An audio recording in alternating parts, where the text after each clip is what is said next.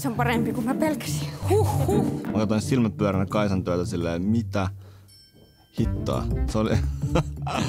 se näytti ihan mega hienolta. Ja silleen mega valmiilta myös. Siinä vaiheessa, kun mä oon niinku just saanut niinku vikat kangaskappaleet leikattua.